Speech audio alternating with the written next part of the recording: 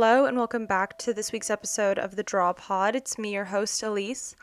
In this episode, I'll be chatting while doing a drawing, painting thing of a little interior that I sketched from some Pinterest in- images, and I will link um, my reference image in the description of the podcast. Um, but if you're new here, this is the visual podcast where I draw something and chat with you as I go. You don't really have to watch the video to know what's going on, and if you prefer to listen to it on a podcast app, it's available everywhere. If you want to watch the YouTube video, though, check out my channel, which is linked in the description of the podcast. Also, if you would like to see the final image, check out my art Instagram, which is at Elyse underscore draws, also listed in the description of the podcast. So, in this episode, I'll just be chatting about some of the art I've been making this week and just showing you um, this this painting that's going on. Um, but before we get into my usual art ramblings, I'm going to go through my weekly segments, which are just a life update, artist of the week, and a book update. And this video might be, uh, or this podcast might be a little shorter than usual. I have been, and I guess I'll just go into my life update. Um, been pretty stressed this past week with everything going on. Um, I am going out of town. Um, I'll be back by the time you get to listening to this episode, but I'm going out of town. And so I wanted to have everything done for so I don't have to worry about it whenever I'm out of town. And so, yeah, I have been stressing about getting everything done.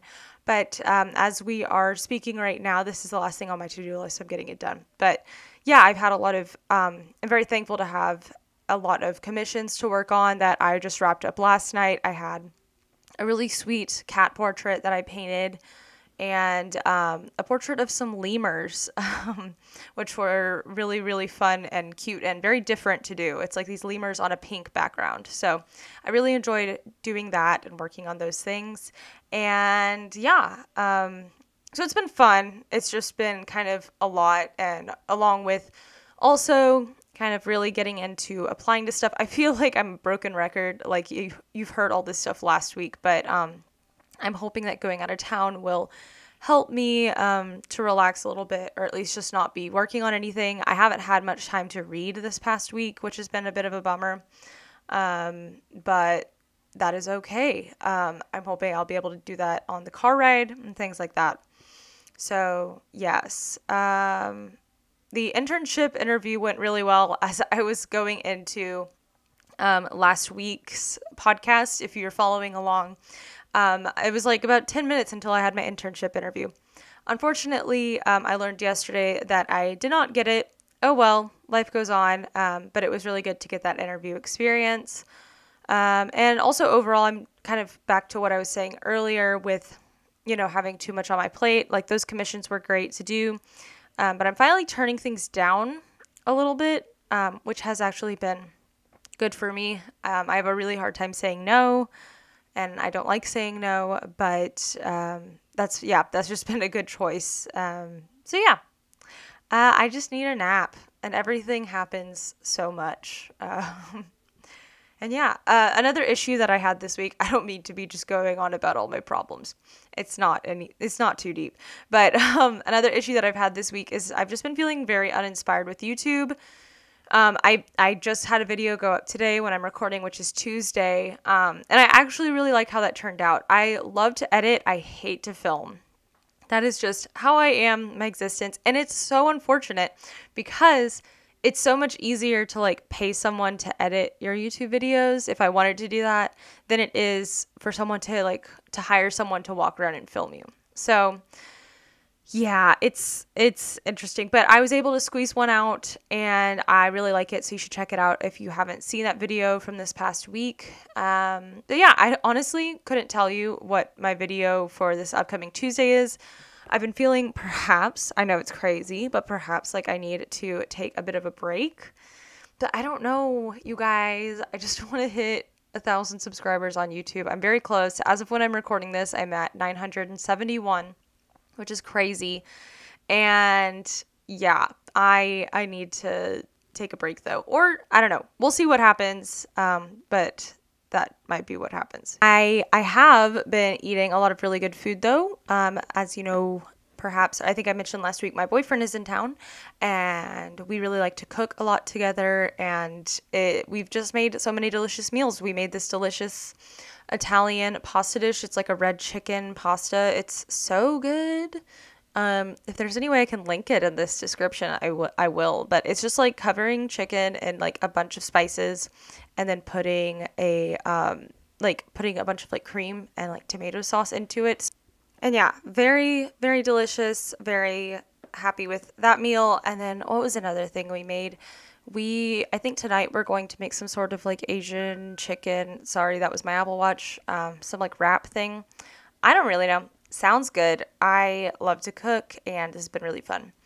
Um, and yeah, that's kind of the main things going on. Other than that, it's just that like I so desperately want to schedule my days better in like clusters of things. So like one day be my YouTube day, one day be my podcast day, one day be, you know, art day, things like that.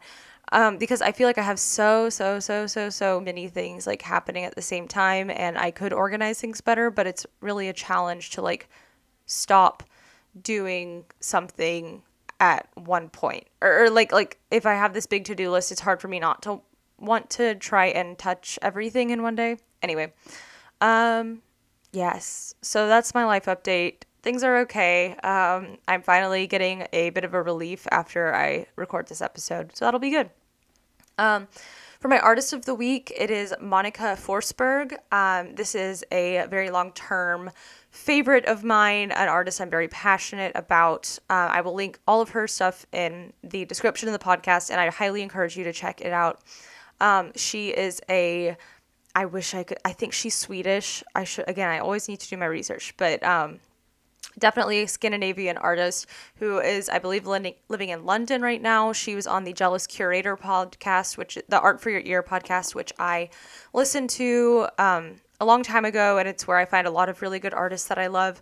And she is an illustrator. And what really moved me about her podcast was just how thankful she she was and that she she expresses that like she gets to be an illustrator and have the job that she has and be living the life that she does and just like how thankful she is to be able to pursue creativity and I really related a lot to that and I still do even though I listened to that like maybe 2 or 3 years ago um, and yeah, her illustrations, um, she does a lot of things for like children's books and for textiles, um, a lot of floral elements to her designs. She kind of uses um, things like crayon a lot. And yeah, it's, it's always hard for me to describe kind of what these artists' work looks like just from, you know, you can't see it yourself unless you go to look at it.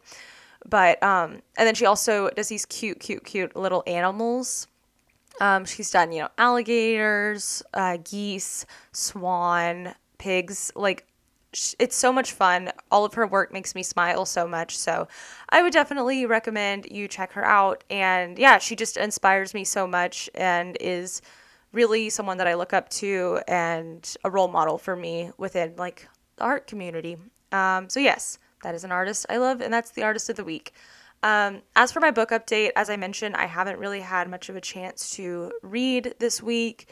Um, I've just been really busy and my schedule is just a little bit off, which is fine. Um, but yeah, I'm still reading Range and it's still taking too long to read and I don't know why it's taking too long to read. I don't understand. Um, I know that I should probably start another book so I can start getting through that because, you know, like I was a little bit ahead on my Goodreads you know goal for the year which is to read 50 books this year i was a little ahead and now i'm behind or i'm it's caught up to me basically so um, i probably will start a new book today and keep reading range on the side i have them all kind of locked in onto my kindle so i don't need to worry too much about how long it's taking me to finish them but i would like to get to it and maybe i'll bring one of my paperback books with me on my trip this weekend um, or this week. So we will see. But yes, that is my book update. Um, here, here are my art ramblings. Um, this thing that I'm working on now is, like I said, it's an interior that I've had saved to one of my Pinterest boards for quite some time. Um, it's this kind of like maximalisty kitchen. Um, I really like it. I definitely changed it up a little bit from the image, but like I kind of rearranged some things, added in some different plants, took some things out. Um, but it's definitely going pretty well. Um, by the t- like when I'm recording this, I haven't actually finished working on it. I will in the next few days.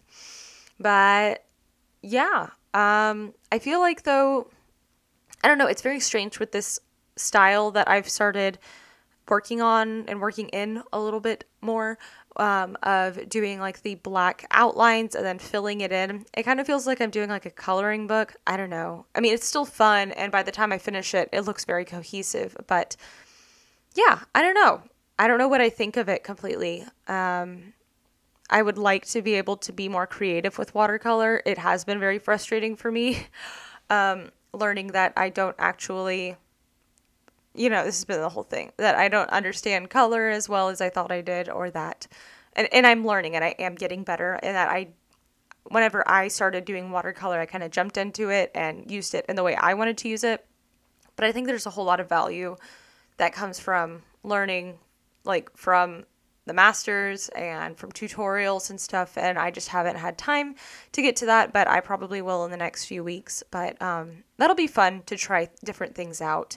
And i actually saw this one artist who will probably be an artist of the week in the next few weeks. Um, she is a Tampa based artist. I think her name is Victoria. I will probably link her in the description. But she is a really, really amazing artist and she draws like alligators or she paints alligators and she's very good at watercolor. And I saw her using this method of like painting with um, over a light box. So she has a sketch underneath so she doesn't have to use or erase pencil lines or anything, which I love. I have a light box. I use it all the time. I've thought of painting over it, but I just never actually did. So that is definitely a technique I'm going to be using in the future that'll kind of help reduce the reliance maybe that I have online. Who knows? But um, I really love her work. Alligators are amazing. I just bought one of her prints. Um, and yeah, um, let's see what else. Oh, I think I wanted to mention about like making time for art. I wanted to talk about that a little bit this week since I've mentioned that I am behind on things or like I feel like I'm out of time, like I don't have enough time to read, things like that. Um, but it's really important to make time for art. Um, and ways that I do that are I tend to bring my sketchbook everywhere I go.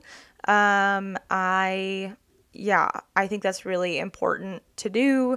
Um, you can get a smaller sized sketchbook to be able to you know, make it a little more portable. But yeah, I don't even know what I'm saying. I'm gonna keep this in, but um, it's also a good time, a good way, a good way to do it is to schedule things in. That's what I tend to do. I like to time block, but sometimes it doesn't really work for me. You know, um, I don't know.